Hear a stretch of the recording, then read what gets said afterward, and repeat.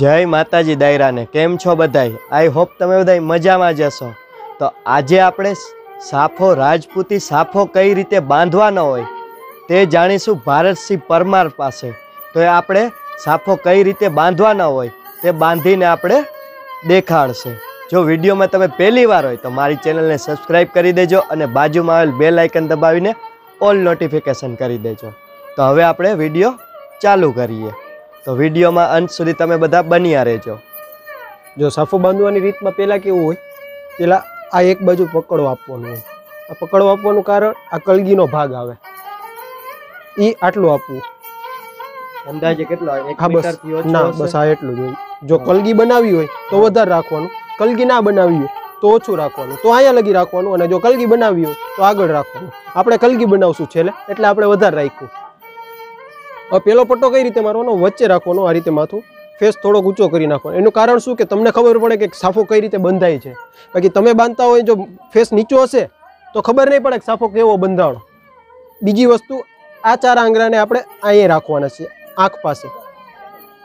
અને આ અંગૂઠાથી આ રીતે સાફાને પકડી અને આ આ જે રહ્યું આ બીજો હાથમાંથી એ રીતે આ રીતે આંટી ચડાવવાની. આરામથી એક જ સાઈડ ઊભું રહેવાનું અને આંટી ચડાવવાની. પેલી આટી કાનની નીચે જવા દેવાની. એક્ઝેક્ટ કાનનો કડ આવે ત્યાંથી જ લેવાની. બહુ નીચે પણ નહીં બહુ ઉપર પણ નહીં. બીજો પટ્ટો આવે. એ જ રીતે આ બાજુ પટ્ટો કરવાનો. પટ્ટો કરી અહીંયાથી લ્યો. આ અંગૂઠાથી પકડો અને આને અહીંયાથી આંટી ચડાવો. આંટી ચડાવ્યા પછી આ ચાર આંગળિયા એને અંદર નાખવા રાખવાના. એનું કારણ? જ્યારે છેલ્લે તમે કલગી ભરાવશો તો એના માટે જગ્યા હશે અહીંયા. એ જગ્યા ચાર આંગર બનાવશે. એ રીતે ત્રીજો પટ્ટો બનાવો. અને એ જ રીતે ફરી વસ્તી. પટ્ટા આપણે જે કરી એકની ઉપર એક હોય કે કઈ રીતે એકની એક ઉપર રાખવાનો અને પેલા ત્રણ પટ્ટા હોય ને એમાં થોડું થોડું નીચે ઉતારતું જવાનું. જ્યારે ચોથા પટ્ટો ચોથો પટ્ટો અને પાંચમો પટ્ટો આવશે ને બાકીના બધા પટ્ટા એની ઉપર લાગશે. એ જ રીતે આ ચોથો પટ્ટો આવ્યો. આ ચોથો પટ્ટો નીચે થોડોક લેવાનો. તમે સાફો બાંધતા હોય ત્યારે આંખ સામેવાળા માણસની આંખ એને નીચે દબાઈ જશે. પણ એનાથી ગભરાવાનું નહીં. અને સામેવાળા માણસને કહેવાનું કે પાંચ મિનિટ દબાઈ જશે. પણ એના એના કારણે એને સાફાનો શેપ સૌથી વધારે સારો આવશે. એ જ રીતે આ પાંચમો પટ્ટો. પાંચમા પટ્ટા અને ચોથા પટ્ટાની ઉપર મારવાનો.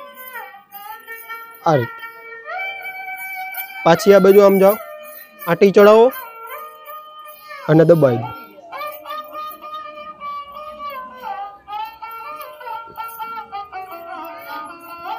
છઠ્ઠો પટ્ટો આંટી ચડાવો આ બાજુ દબાવી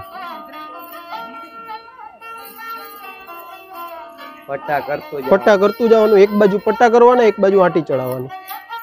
હવે જે છઠ્ઠો પટ્ટો આવે તો શું કરવાનું? પટ્ટો ખેંચીને મારવાનો. અને અહીંથી આ અંગૂઠો અહીંયા દબાવવાનો. અને અહીંયાથી ચાર આંગર એ જ રીતે કરતું જવાનું. સાફો આપણે બાંધી રાજપૂતી સાફો એ કેટલા મીટરનો? નવ મીટર. નવ મીટર નવ મીટર અગિયાર મીટર એ રીતે આવતા હોય મીટર. પણ માથા પ્રમાણે નવ મીટર વધારે સેટ થાય. વધારે પડતા તો નવ મીટર ના જ બધા બાંધતા નવ મીટર નવ મીટર. પેલા આવતા હતા અગિયાર મીટર ને એ રીતના. પણ હવે બધાના માથા એ પ્રમાણે નથી રહ્યા. સાચી વાત હે ને? માથા પ્રમાણે એ સાફા અત્યારે બહુ મોટા લાગે. એ જ રીતે આ પટ્ટો માર્યો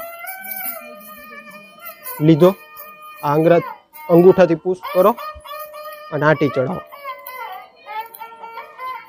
જ્યારે છેલ્લો પટ્ટો, હવે જો આ છેલ્લો પટ્ટો. છેલ્લો પટ્ટો હોય એટલે એને વ્યવસ્થિત ગોઠવવાનો. આ જ રીતે. ગોઠવી, ચાર આંગળથી સરખું કરી પટ્ટો મોટો રાખવો નાનો રાખવો એ બધું તમારી ઉપર ડિપેન્ડ કરે કે પટ્ટો તમારે કેવડો રાખવો. પટ્ટો બનાવો કઈ રીતના એ વિવરને જણાવો પટ્ટો સામાન્ય રીતે તમે પટ્ટા પેલા પટ્ટો બનાવ્યો આ રીતે આમ કરી ખાલી બેન્ડ કરશો એટલે પટ્ટો વ્યવસ્થિત આવી જ જશે.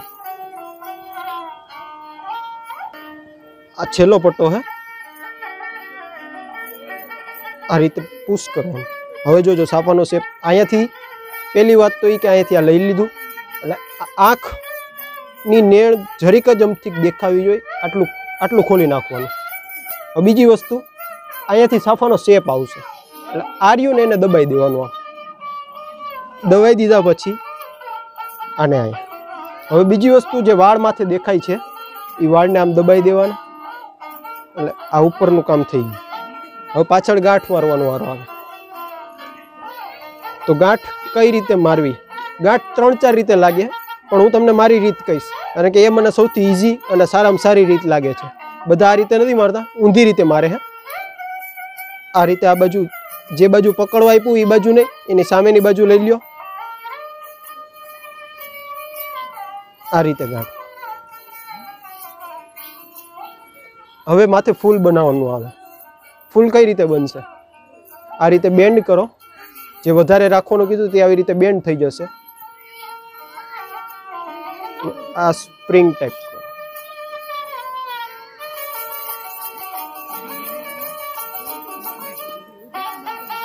સ્પ્રિંગ અને આ જ રીતે અહીં ભરાય.